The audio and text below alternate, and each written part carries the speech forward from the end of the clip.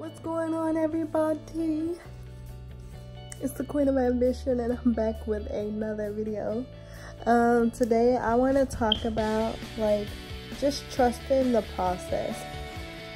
It's about to be 2019 guys and I'm sure we all have New Year's resolutions and things we want to accomplish for this year or the end of 2018 beginning of 2019 um a lot of times we tend to rush the process with things we're not patient we just want things to happen just like that and i'm here to tell you that it's very important that you trust the process trust your decision you pray meditate um, do whatever you have to do to keep you focused on your goal um, to achieve your goal, you have to put in work. It's not just, oh, it's going to come sit in your lap.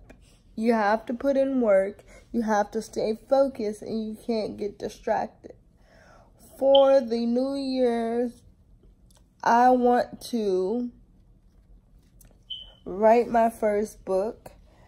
I want to, um, I want to really figure out my niche and what I want to do as far as my clothing store, as far as the disabled community, what's my calling. I know motivational speaking, but how far do I want to go with that? You have to have realistic goals, not unrealistic things that you're probably not going to meet in this amount of time. And I am going to do a video of me doing my vision board soon. So you guys be on the lookout for that.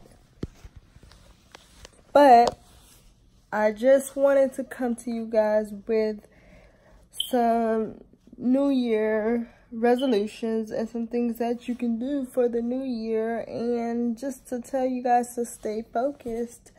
Um, that's this video. Thanks for watching. Make sure you subscribe to my channel. Give it a like, thumbs up.